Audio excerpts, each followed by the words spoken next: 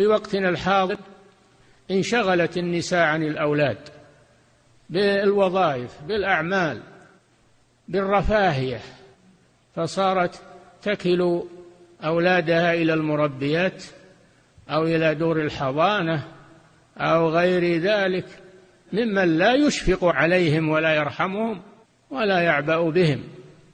كيف أضاع الوالدين أولادهما من التربية وطرحاه على غيرهما من الخديمين والخديمات والمربين والمربيات ثم يرجون بعد ذلك منهم البر.